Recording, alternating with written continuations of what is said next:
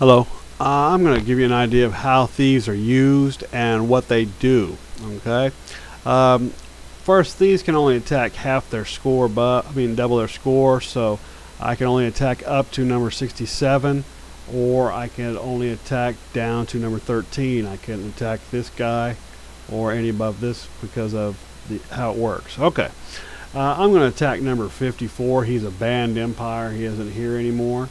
Uh, so I'm going to go over all the thief attacks and show you how what they do. Okay.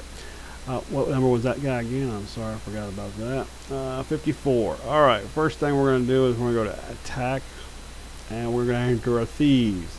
And we're going to steal army information. I'm going to show you why you do that. All right. Uh, I'm going to show him. All right. We're going to go ahead and use three turns so I can get there. You see he's at 100%. I'll show you how that's going to change.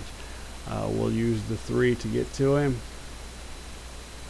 And I stole his army information. The reason I want to do that is I want to know what kind of army he has. Okay, I see he has swordsmen, archers. He's rich. I can see that. So I'm going to want to steal gold from him.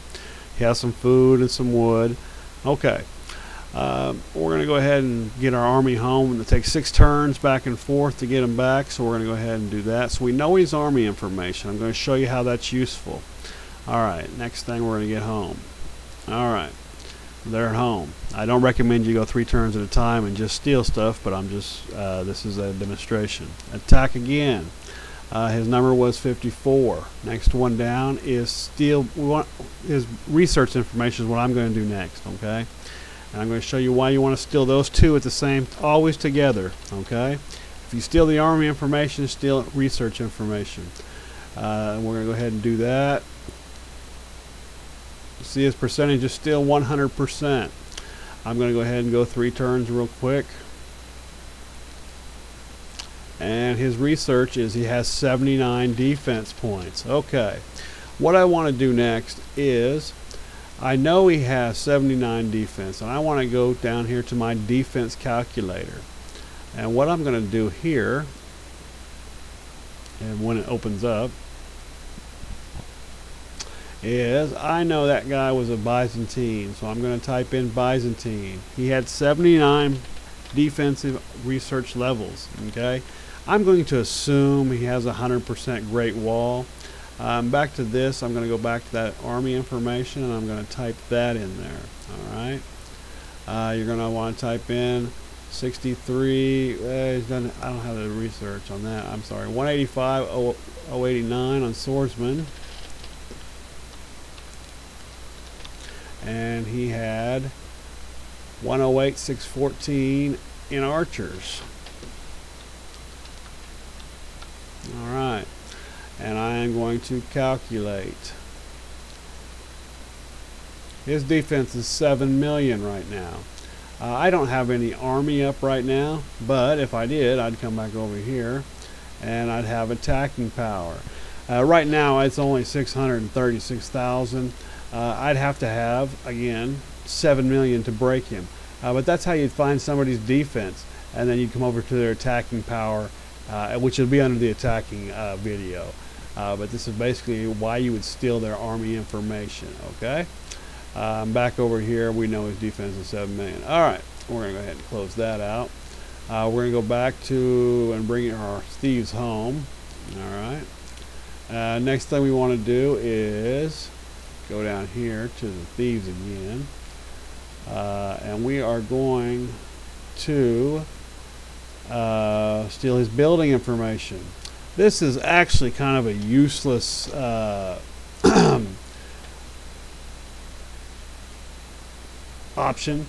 Uh, you don't want to you do it much. If you were trying to homeless them you do it. But basically if you want to find out uh, how many towers he have, but you'll steal army information. That, so you'll never ever use this really unless you're homeless in him. But that's how many buildings he has. Uh, I wouldn't recommend using that very often. Okay, keep on. We're going to get home. Uh, and here we go again. All right, still good. We stole his army, his building information. Now I'm going to show you something. We steal his goods. We have attacked him three times so far. We started at 100%. At this point, he will be at 92%.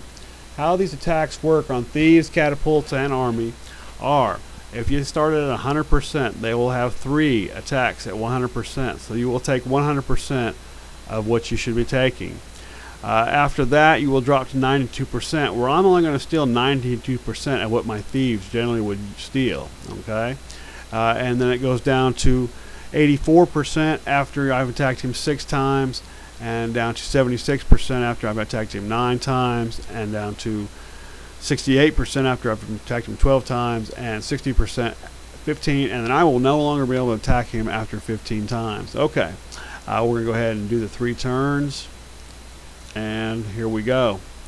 We have stolen one billion seven seven hundred million dollars, some food, swords, wine. Stole a lot of wine, a lot of swords. Okay, uh, that's what steal goods is for. All right, uh, we're gonna bring our people home. All right.